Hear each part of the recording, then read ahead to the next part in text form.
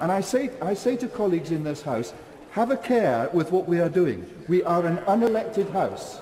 We are an unelected House, and this amendment and the other amendments are part of a campaign which is putting peers against the people.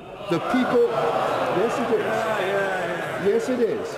The people, the people set out very clearly that they wish to leave the European Union, which meant leaving the customs union as well. As my noble friend Lord Lawson has pointed out, it was central to the whole campaign. So what is going on here is an exercise by Remainers in this House, who are the majority, who refuse to accept the verdict of the British people. And I believe they are playing with fire. And I hope that this, uh, on reflection, that this amendment will not be carried.